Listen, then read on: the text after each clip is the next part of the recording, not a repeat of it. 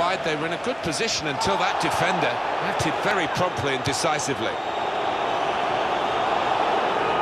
They've opened them up here. Picky spot now. They've got him to score here.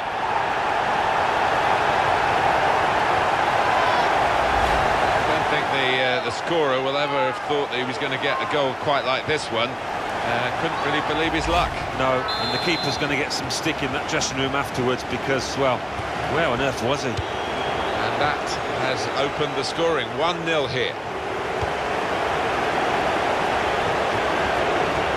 Here comes the